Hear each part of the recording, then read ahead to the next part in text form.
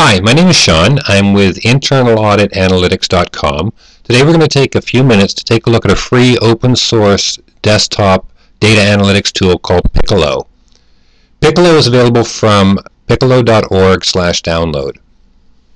We can bring data into Picalo either from a database connection or by importing a flat file, say a CSV or an Excel spreadsheet or a text file of some sort. If I take a table here or an Excel spreadsheet that has 10,000 transactions, Picalo will automatically detect that it's actually a CSV file in this case, and it will capture the data very accurately. I do have options of changing the spacing to see what other uh, other ways I could format this, but we'll stay with the comma separated values, and it picks up the first row as the field names. Picalo brings in all of its data by strings as default, so if I want to use numbers, I will actually have to go and change these uh, to the right data type as we go through. Picalo takes about 10 seconds to import this particular table. If we're dealing with a very large table, say a million or two or three million transactions, it probably makes more sense to go and load that first into a MySQL database or something like that rather than have Picalo manage the flat files. Picalo is great for data analysis. It's not meant to be a big file manager or a data retrieval tool. So now that it's a Picalo table, we can run descriptives on this, and this very quickly gives me my highs, lows, and averages on everything that's a number or a date.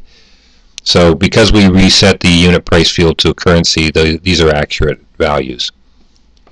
Now imagine I want to do a very quick test. I have an employee ID number for somebody who created this transaction.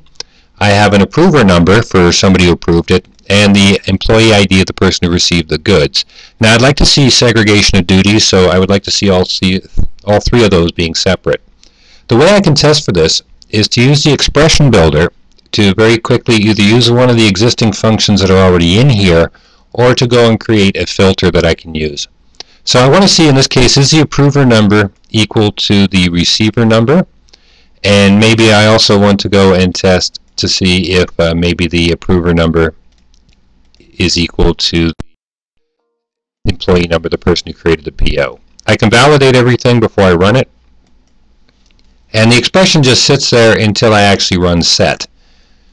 And we find in this case we have a couple of cases where the approver number and the employee ID of the person receiving the goods is the same. Now at this point I could save this as another Picalo table. I could just cut and paste this into an email to somebody, or I could go now and upload this result into a database.